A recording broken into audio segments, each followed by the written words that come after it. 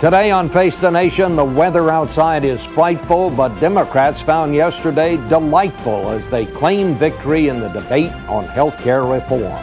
But as they claimed the 60 votes needed to pass health care reform in the Senate, Democrats called it a historic moment for America. Republicans said it was worse than the weather.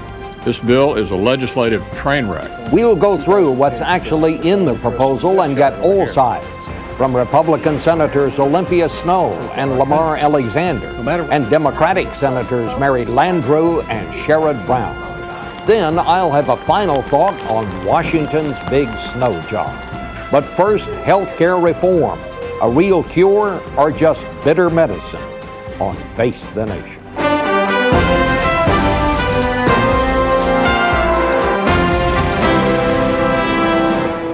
Face the Nation with CBS News Chief Washington correspondent Bob Schieffer.